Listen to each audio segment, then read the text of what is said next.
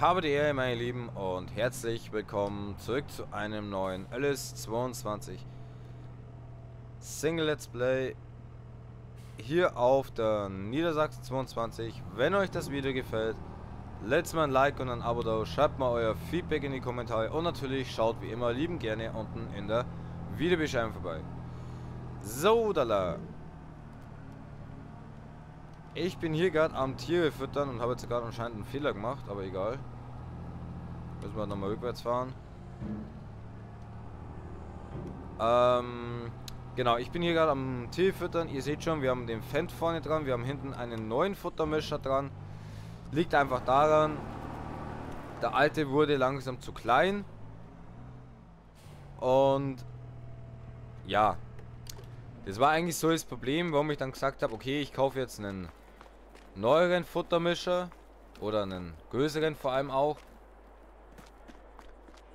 weil wir einfach zu viel hätten mischen müssen. Also anmischen müssen, ne? So, jetzt denkt einer oder andere, ja, muss die ganze Zeit Ahinker, Ohinker, Ahinker, Ohinker in einer Tour. Nein. Ich habe ja noch einen Teleskoplader bestellt gehabt. Der ist auch geliefert worden. Genau, der ist auch geliefert worden. Dadurch haben wir alles da jetzt eigentlich, was wir brauchen. Plus am Händler stehen unsere neuen Maschinen. Äh, da werden wir, ich denke mal, im nächsten Video wieder drüber schauen. Aber bevor wir jetzt, oder im Laufe des Videos, aber bevor wir jetzt weiter labern, euch erstmal nachträglich nochmal frohe Weihnachten und schöne Feiertage.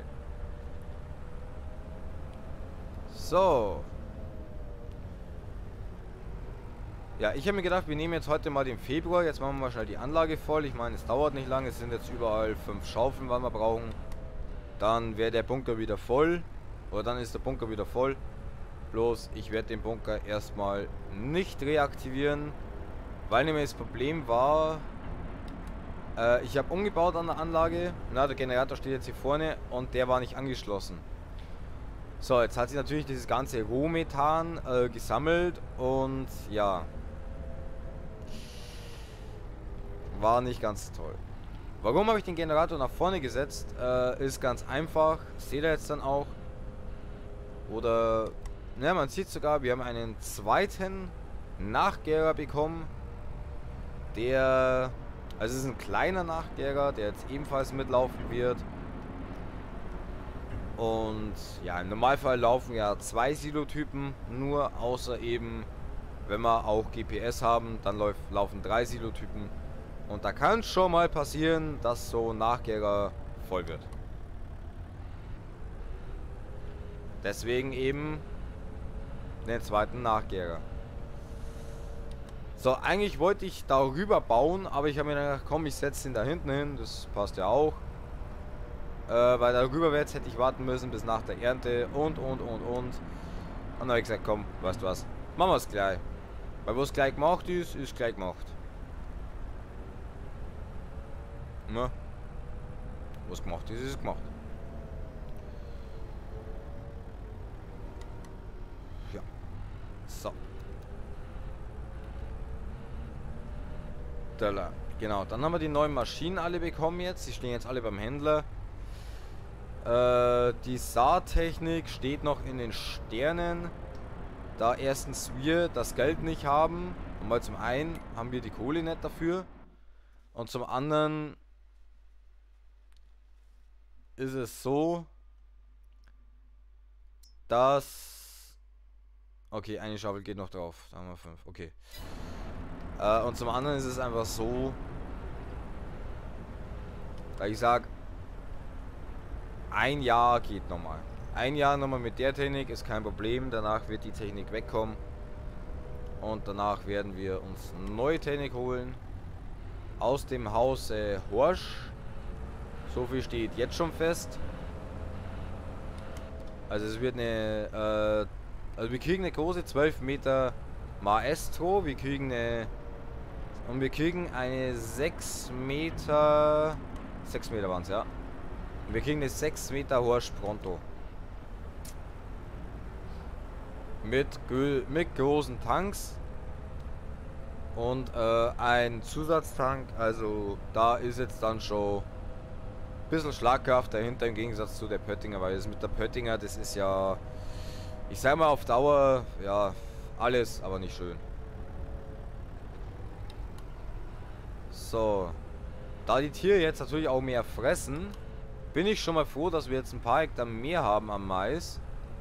Äh, Im nächsten Jahr allerdings könnte das eng werden. Weil da habe ich wirklich nur 14, äh, wirklich nur knappe 15 Hektar, glaube ich. Müssen wir mal nachschauen.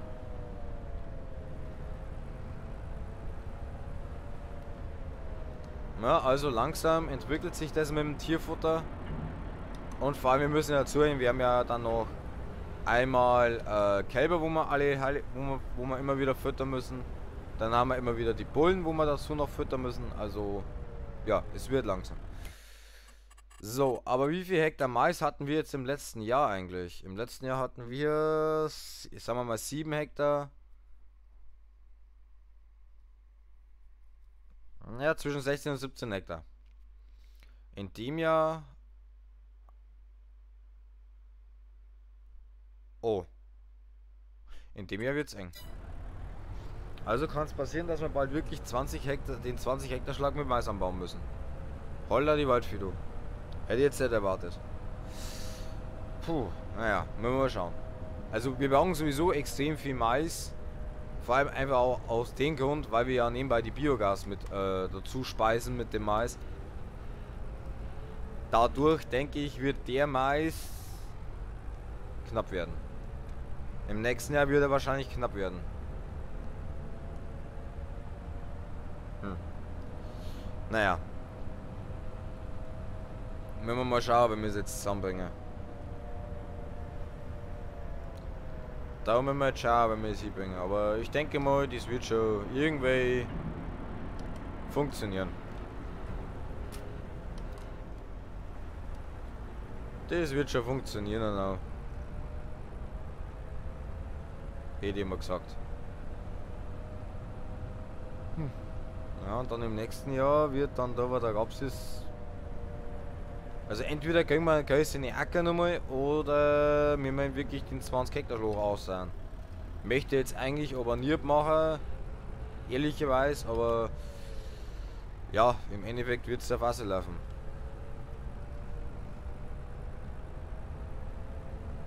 Und dann schauen wir mal, wie lange das groß halten dort.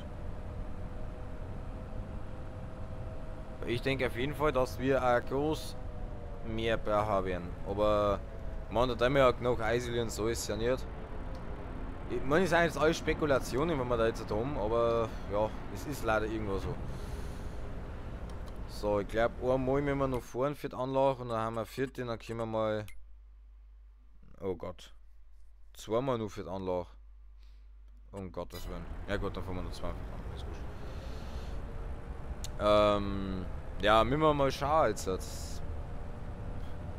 Ich habe jetzt extra die Maisbäume zuerst an Biogas verfiltert oder den noch eingefahren, dass die fort sind. Weil dadurch habe ich wenigstens ein paar Tage noch mit Anlage speisen können. Mit denen Maisbäumen. Und ja, das passt eigentlich optimal. Was jetzt natürlich nur geiler war, wenn wir jetzt nur einen Acker hatten, als im Frühjahr. Da bin ich jetzt gerade noch über die Verhandlungen. Man geldtechnisch wird es ein wenig knapp. Aber ich meine, den Acker brauche ich ja dann erst wirklich zum Mais. Also für den Mais ist der nächste Acker noch vorgesehen. Aber da müssen wir jetzt einmal schauen, wie ich das jetzt zusammenbringe, weil irgendwie weiß ich noch nicht. Naja, wurscht. Auf jeden Fall jetzt dann Anfang März werden jetzt dann erstmal die ganzen Bulldogs geholt, die ganzen Maschinen geholt, was da stehen. Ich meine, gut, das meiste kann ich ja so mit übernehmen. Na, Güllefassel kann ich ja so mit übernehmen. Äh, in Tridem äh, Kipper, in Abschieber kann ich mit übernehmen.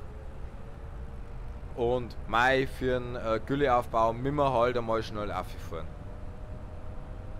Na, kommt der Kippaufbau ober von der HKL und dann müssen wir halt einmal schnell auffahren. Das ist ja kein Beinbruch. Nichtsdestotrotz werden wir trotzdem in der Richtung da den Acker mal noch angehen, wenn wir endlich einmal kriegen.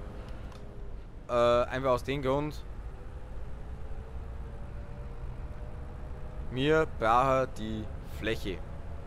Weil, ja, was fehlt? Richtig, eine gescheite Maschine halt. Den müssen wir noch holen. den müssen wir uns so kaufen, den müssen wir uns so verdienen, genauso wie den Acker da unterhalb von uns. Und da möchte ich dann ganz gerne eine Maschine halt mit aufbauen. Und dann darf das passen. So, da muss jetzt halt überall genug sein. Gut. Jetzt nehmen wir mal den noch schnell an den Tankstiefel fahren, weil langsam geht mir doch der Spült ein wenig aus. Wir sind jetzt 230 Liter drin, aber... Hm.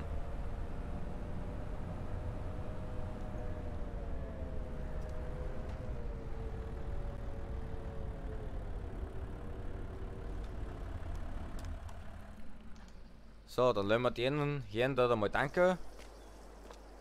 Und dann schauen wir mal. Kerner.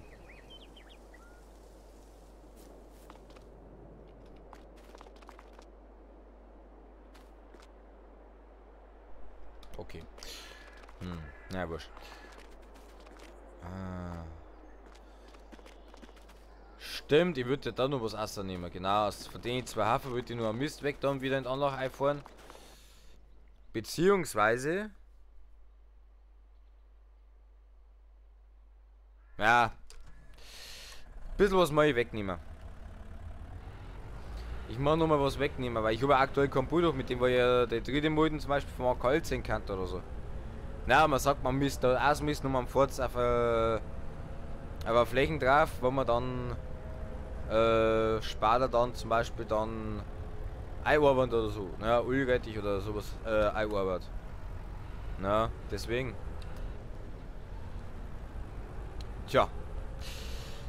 Gut, aber ich habe jetzt immer wieder mal, wenn die voll gewinnen, habe ich immer mal wieder ein bisschen Mist in Biogas mit eingefahren. Ich meine, das ist auch gut. Äh, vor allem im Vergleich zur Gülle ist der Mist ein wenig besser. Habe ich mir mal sagen lassen.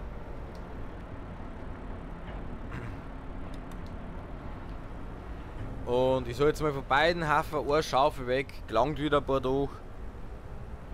Und dann müssen wir mal schauen, dass wir mal Gülle rausgehen, dass wir da mal wirklich eine Gülle reingehen in die Anlage, dass da auch wieder richtig sauber Gülle mit drin ist. Müssen wir mal schauen. So, jetzt nehmen wir gleich einen Hinternhafer. Dann haben sie nochmal 20 Kubik Luft und ja, wir werden dann gleich im März, wenn wir ausmisten,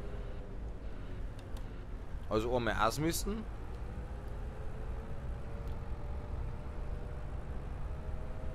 Dann werden wir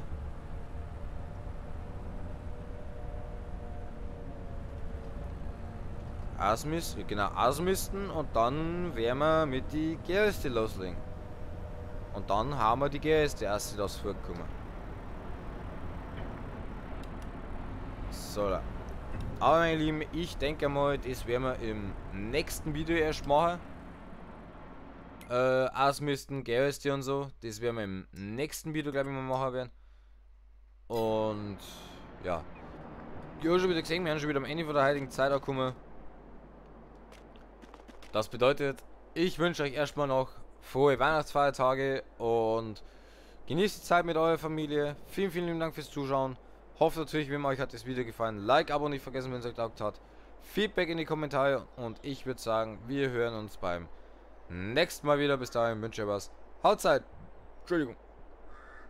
Haut eine, wir hören uns. Bis dann.